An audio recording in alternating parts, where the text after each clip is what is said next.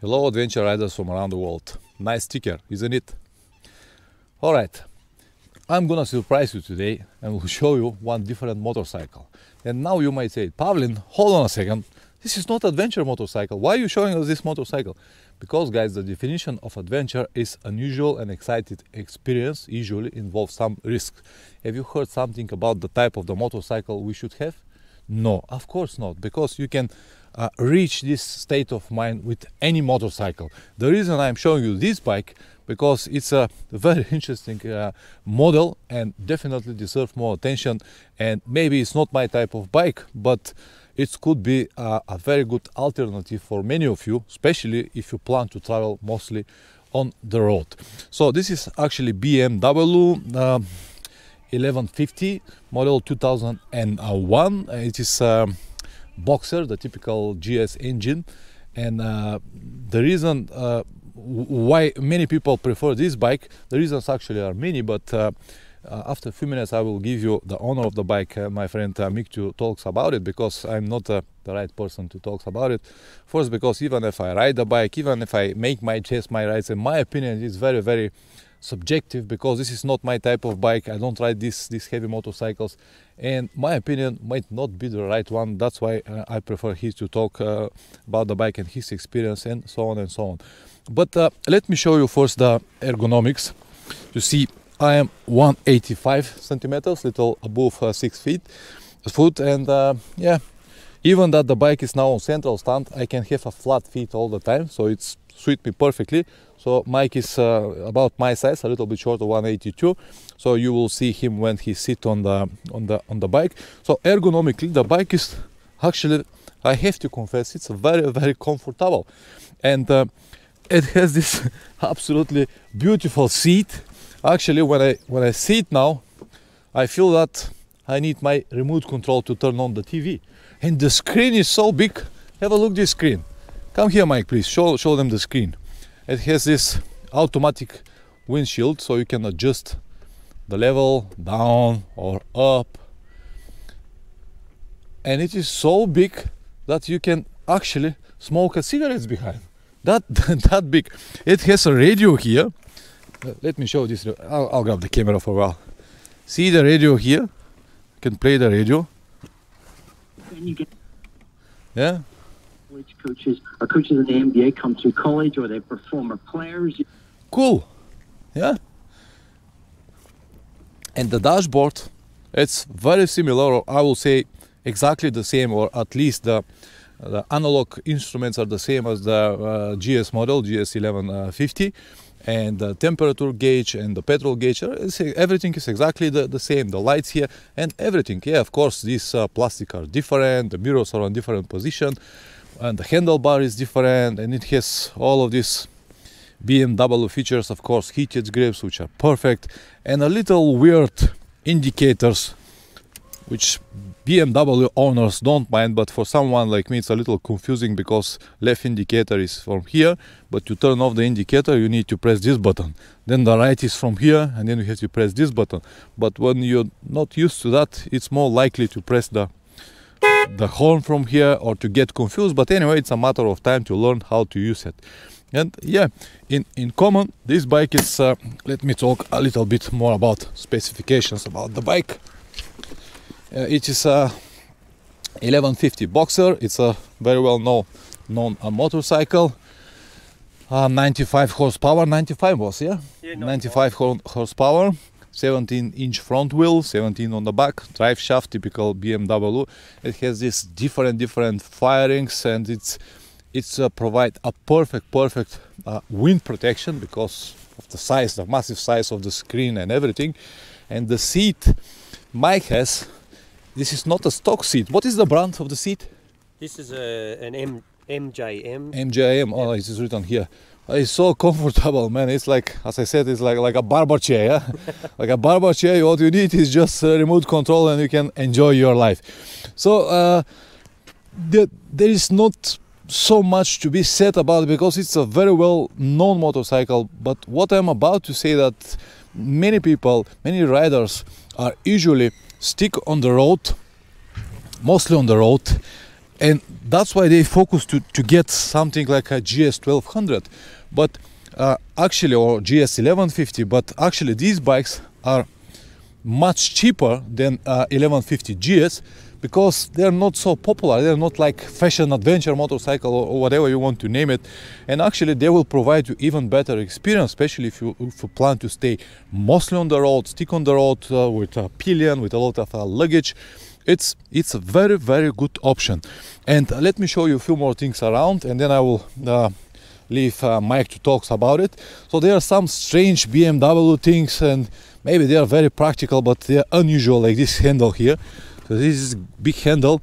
I was wondering what it's about and then mike explained me that when you want to put it on central stand or you just grab it here and help you to lift the bike because it's a heavy. What is the weight uh, mike? I think it's about 250 kilo. 250 kilos. Yeah yeah yeah. Yeah you see on the back and here's this big top case. So you know my opinion about the top cases. I, i'm not a big fan on it. But listen i am not a big fan of the top cases on the adventure motorcycles because they're like nonsense. But on these big heavy motorcycles they've got absolutely different ergonomics. And it is just fine. I'm not saying that it's very good but it's just fine because these bi- these bikes are planned and, and built differently. All right now i'm gonna switch the mic to uh, to uh, mic. I'll switch the mic. I'll switch the microphone to mic. All right. All right. Mike please have a seat first for just a second just a second. Put this somewhere in your pocket. All right. I would like you first to sit on the bike and uh, maybe even remove it from the stand and Yeah, sure. let- let's let's demonstrate this handle how it works. So I'll just push it off the centre stand to begin with. it's heavy yeah Uh, yep, we've got to push it uphill. yeah this is one of the cons it's a heavy motorcycle So, uh, presuming you've come off the side stand, just stand him up, put your foot on the centre stand, and then grab the lever. Uh, if it's in gear at the moment, so I'll pull the clutch in, and then um, just ro- it sort of rotates on a cam type action. that's why it, it so Hmm. all right uh, i'll go on the other side because of the sun all right have a seat on the bike for a while just Certainly. uh, your ergonomics yeah yeah bike is uh, 182 centimeters again Yeah, 182 centimetres, six foot on the dot. Um, I've got uh, a three position height, uh, seat height. I have it set on the middle position, which is about right for me. Um, with my my sort of my butt in the back of the saddle, I've got what I feel is the perfect reach to the bars. I have a, a slightly bent elbow, so I'm not rigid, uh, so I'm not tight in the shoulders at all uh, and I'm not cramped either. Um, I've got plenty of room to shuffle forward for when you're in the twisties, so I can sort of ride the tank and I can still get pretty good purchase um, on the bars. In terms of um, in terms of the screen, I changed this screen uh, from the OEM to uh, this Airflow. They're available from America. Um, it is taller. Um, I think it's uh, I think it's two inches taller, but it's three inches wider, which is the main point. So the original screen is very, very good. Um, the only complaint I would have is it's narrow for the for the width of the bike, and the wind would still catch you on the shoulder. But the best part of the screen at the moment Yep. is here Yes, yeah, it's certainly um, it's it's it, it was probably a, a five thousand dollar bike. Now it's a five thousand and fifty dollar bike. Yeah, Perhaps, yeah. uh, absolutely, absolutely. Tell me the the main reason why did you choose this bike instead of uh, GS model? Uh, well, it was a funny. Well, I, I think initially I, I wanted to get a GS, um, but I'd never ridden one. I was I'd owned a Kawasaki ZRX 1200 for 10 years, which I'd set up for touring with hard panniers, and I'd done a lot of work on it myself, and it, it was a- it still is an excellent motorbike. Uh, and um, I, I was doing and still am doing a lot of touring and camping and fishing, and uh, the nature of the Kawasaki is that I've constantly felt under pressure to ride it hard. Um, I'm constantly under pressure with work and family, so I don't really need that in my time off. And I've wanted to get uh, basically a bike that was a little um, more relaxing to ride. I'd never ridden um, a boxer. I didn't know whether I would like the change in power and torque. So this one was advertised locally, um, albeit not a GS. And I, I rang the, the guy who owned it and I, I told him that I was actually looking for a GS, but I wanted to ride this bike to see what it was like. And he said, come up. And I rode it and I really liked it, so I bought it. Uh, the, the main point of difference between, say, th- this and the ZRX in terms of um, touring is that I just relax into my ride more, and rather than trying to get more out of the bike, which had a lot of uh, Potential. power potential, now I'm riding to get more out of myself um, To enjoy more. to enjoy it more. Yeah.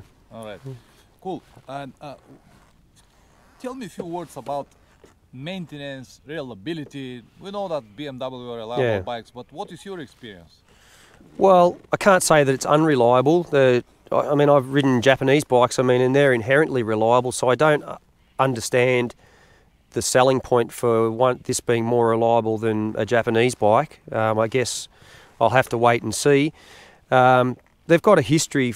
They're, they're known for their longevity. So sixty thousand kilometres on one of these is just broken in. That's sort of the way people um, view these things. Whereas sixty thousand kilometres on a Japanese motorbike. Uh, mine had 100 on it and it was still excellent, is probably considered to be getting uh, old. But I think it's just a state of mind. I, haven't had to do much to this at all. I've I, I rebuilt the front shock. It has an Öhlins shock on it and it was leaking. I rebuilt the rear shock after I bought it. Um, I just changed changed the fluids uh, every 10,000 kilometres uh, and I ride it. It's fine. I just go through consumables, tyres, and oil. How you find the maintenance prices, like oil, brakes, and stuff like that? Is it affordable? Yeah, yeah, yeah. There's, it's not. They're not. It's not. They're no more expensive. I don't Okay. think. Maybe the um, drive shaft oil uh, and gearbox oil is is definitely dearer. But I mean, any shaft-driven bike would be the same. And what what is what do you think about the suspension? Yeah, it's very. Um, it's very plush, um, but you can you can also adjust it up to be quite uh, stiff and firm. Uh, It it's very different in terms of the you know the the Telelever suspension. Uh, doesn't dive under braking, which is unusual, um, particularly in cornering. But I find that it's very confidence inspiring for you don't have to think too much uh, going into mistakes, corners. Yeah. It's very forgiving. Yeah. Oh, okay. So, do you think that this bike is is uh, a proper bike for a newbie riders, or is you need to have at least some experience? Uh, well, you, you can't ride it in this country as a learner, so um, you just have to get your head around the weight. Um, and once you've done that, yeah, I, I think it's fine. You can. It's, it's, I think it's a very rideable bike. And uh, what is the petrol consumption and the range? Yeah, it- it's it's it hovers around five litres per hundred kilometres. Of course, that depends on on the on the terrain and the and the weather conditions. Uh, it's got a 20 25-ish litre tank, 24, 25 litre tank. Um, you, you comfortably get 400 kilometres out of that tank. I normally fill it by then, but I have had it up to about 450 kilometres. But you're pretty much ready for a break by then. And uh, what about wind protection and uh, vibrations? Do you have any Uh, issues? wind protection's perfect, really. Yeah, with this screen, yeah. Yeah, and the, and the fairing, the fairing works re- really well. Where the mirrors are, th- that just keeps the wind off your hands straight away. So even though they're low and probably a bit confusing, And this protect your knees. yeah, absolutely, yep. Um, the vibration, uh, yeah, I guess they get a bit. They're being a, a, a twin, they do get a little vibey um, until you go into sixth, which is an overdriven gear, and then the vibes just go away. Okay. Yep. And what is the, the cruising speed, the comfortable speed of this, Oh, this- motorcycle on the highway? This thing is really, really happy at about 125 kilometres an hour. Cool. Seems to be the sweet spot for it. It'll go a lot. It'll go quite a bit quicker, um, but once you get it up to three and a half thousand RPM, that's where it wants to stay. And what is the price difference between this one and uh, GS model Yeah. range? Let's like say this will be like 30 40% cheaper. Yeah, well, I think this. Um, I mean, I got this for a really good price, but um, these are less desirable than the than the GS. So you know, I, I would expect that you'd pay maybe another two thousand dollars for a GS, two or three thousand dollars for a, for a good one, for one in the same condition as this equivalent. Okay.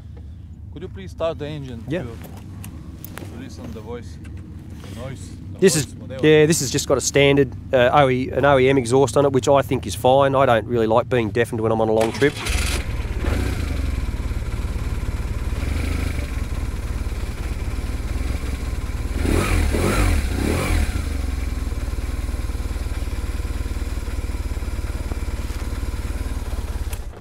It's definitely better on a long trip to be quiet. Yeah. Yeah, I mean anything that anything that um, el- eliminates fatigue is good. All right. So, hmm, this is pretty much everything. I think we covered almost all topics. And yeah, guys, I really hope that this information will be useful for some of you because, as I said, the adventure is only state of mind. Thank you very much, Mike, for everything, Oh, for everything you have done for me, for hosting me, for helping with everything, for showing me around. We have actually a beautiful sunny day. I'm lucky as usual. So, guys, if you want to see many more videos like this, because as you can see, my channel is very colorful. So yesterday I was riding uh, on the rocky. Uh, what was what was the name of Mount, Mount Corrie. Mount Currie, Mount Currie. Today we're testing uh, this GS, uh, this uh, BMW Mm. RT. So, well, good reason to subscribe. See you next time. Ciao.